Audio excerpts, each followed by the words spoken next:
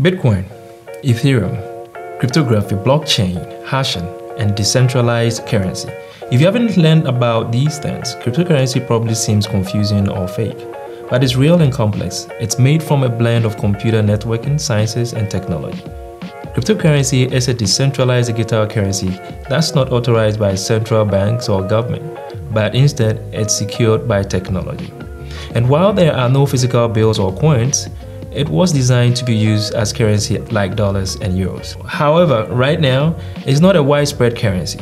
Most people or countries aren't using it to buy goods, but instead, as an investment or a job for people who work inside their computer network. So how does cryptocurrency work and what will the future look like? I am Dr. Eric Owusu, an assistant professor at SUNY Brockport. I specialize in human-computer interaction, e-commerce, cybersecurity, and information systems. And in all these subjects, we are integrating knowledge of cryptocurrency. Let's break it down.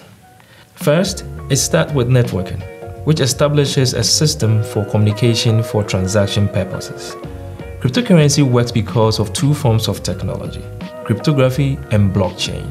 Cryptography is a series of coding and algorithm that essentially create a security system, while blockchain technology is distributed database.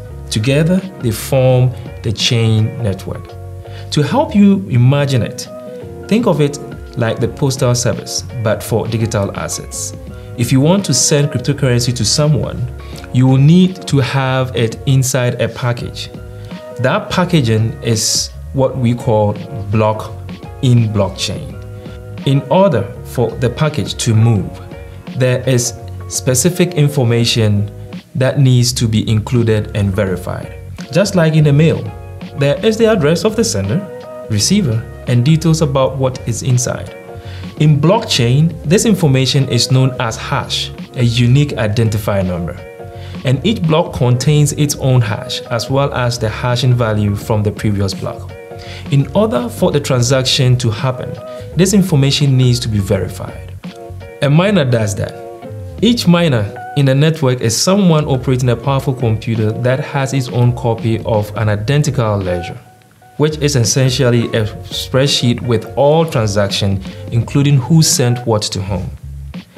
For a transaction to occur, a majority of all miners must agree that information is correct, matching their ledger copy. So this is where it's different from the postal service. Imagine if a majority of all postal workers had to scan and verify one package before it shipped. That would take a long time miners are consistently running their computers to cut down the time it takes to verify a transaction. In a nutshell, cryptocurrencies are digital currencies that use blockchain technology to record and secure every transaction. But in order to talk about the future of cryptocurrency, we need to understand the benefits and downside of its widespread adoption. One benefit is its decentralized nature due to the blockchain. That adds an extra layer of security in addition to the cryptography. However, a downside of that same process is that mining cryptocurrency takes a long of energy consumption and generates a significant amount of electronic waste. It's bad for the environment, contributing to global warming. In fact, Bitcoin specifically uses more energy than a lot of countries.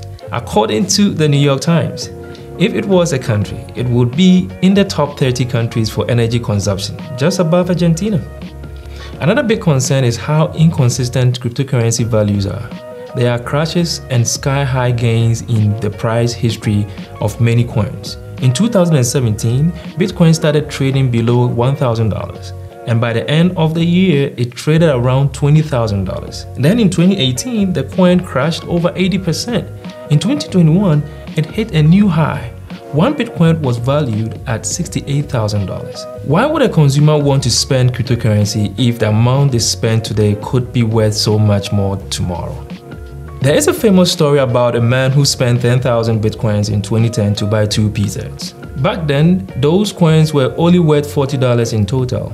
But if he had kept them, he would be widely rich today. During Bitcoin's top value in 2021, those pieces cost nearly $700 million. On the flip side, its volatile nature is why people are investing. It's a gamble. In my opinion, Until proper security, government regulations, and educations are in place, there will be serious problems with using cryptocurrency as a form of payment or exchange.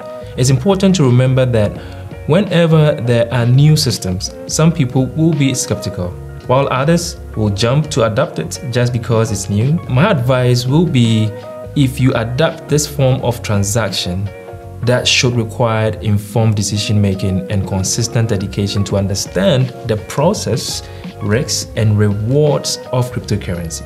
Because the return on investment is not 100% guaranteed.